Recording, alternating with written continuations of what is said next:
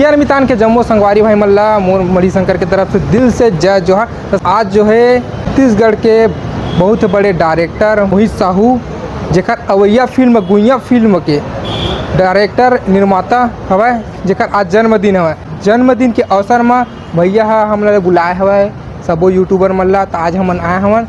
और यहाँ बहुत से एक्टर आए हैं छत्तीसगढ़ के हॉलीवुड के।